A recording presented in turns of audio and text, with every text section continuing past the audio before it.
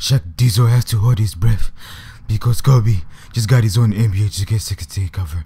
Now, if you ask Shaq Diesel, am I jealous or not? I am jealous.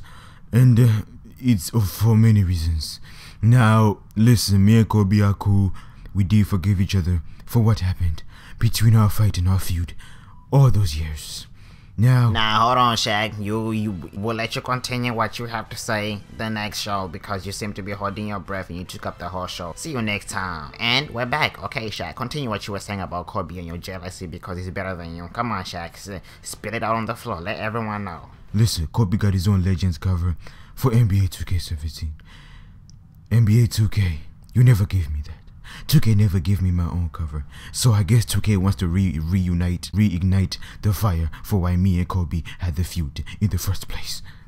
Now the rumor is if me and Kobe were to fight, Kobe would beat me in a fight because I run out of breath. Now listen, as I talk, I'm already running out of breath. But you have to know, Shaq Diesel still has it in him. The Diesel in Shaq never runs out. But for Kobe, he seems to be running out as he's retiring.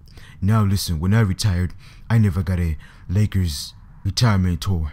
I mean, you can blame that I switched teams and I was never a Laker from day one to day of my retirement. But I also deserved a Laker tour. I never got that.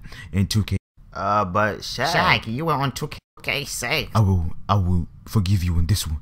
You know why, Ernie? I think it's because I'm so big and so big of a star that I cannot even fit on the cover of NBA 2K17. If you say so, Shaq. No, the Shaq Diesel has a big heart, and I am not going to blame 2K for this.